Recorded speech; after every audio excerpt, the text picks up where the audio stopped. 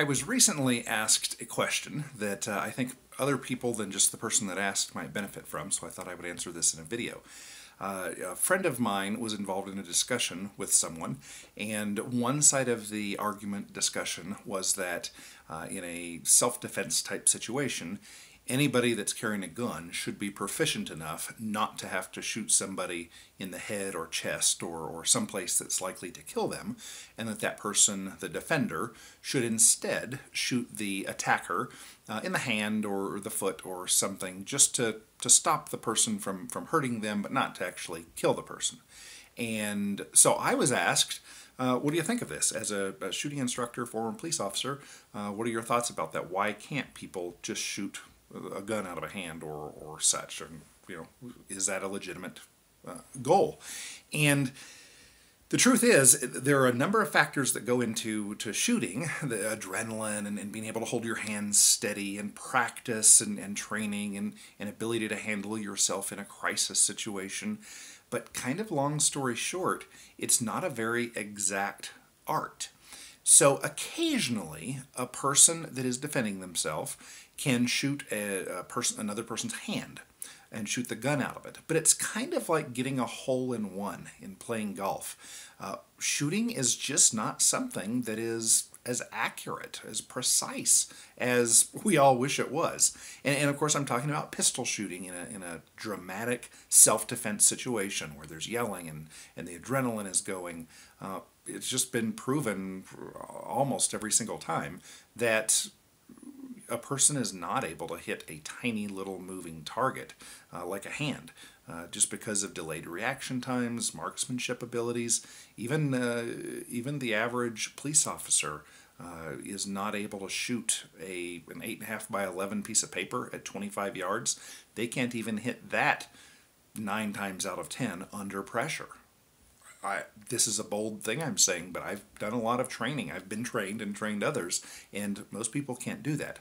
So when you think about a piece of paper, uh, an 8.5 by 11 paper versus a hand, and the hand is actually moving, and you can't predict which way it's going to move, it's just not possible.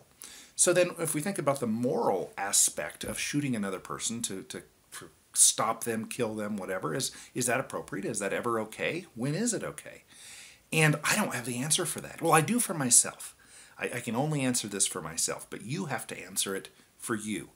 If someone is attacking you and they have the means to seriously injure you or kill you, my personal perspective is that you have the, the right as a human being, as a critter, to survive.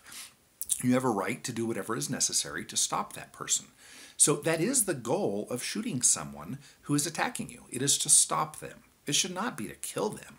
You just want to stop them. Well, then we look at an, a skilled shooter, uh, even the person that's in the top 5% of shooters, they're probably not going to be able to shoot a person's hand that's swinging a knife. So, what part of the person could they hit? The chest, center mass, it's called. That's what you can actually hit sometimes. But look at many of the police shootings. You know, you, you hear the stories of 36 shots fired and they hit him once in the ankle. I mean, that's what really happens in the street. And that's aiming at the big, huge center mass chest. So, again, that is where self defense shooters are trained to shoot is center mass, and it's because that's probably the only part that you can hit a moving person. Even then, you're not going to hit it 100% of the time. And that is the part that is most likely to do substantial damage to stop the person. Now you hope that once you've stopped them, they're able to, to put a hand over their, their wound and stop the bleeding and survive. We want this. We don't want anybody to die. We just don't want to get killed. And, and we just want to stop this, this person from attacking us.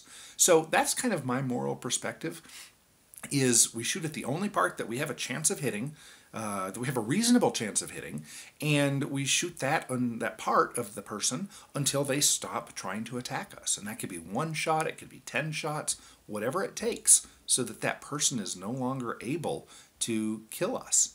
So that's my perspective. Uh, I'd be curious what yours is. Do you have a different moral uh, perspective? Do you have different principles that you live by?